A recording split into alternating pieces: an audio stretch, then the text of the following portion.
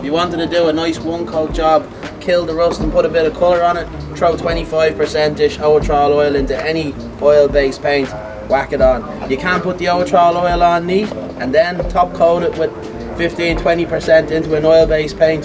You'll have a bit you'll have a better job, better adhesion.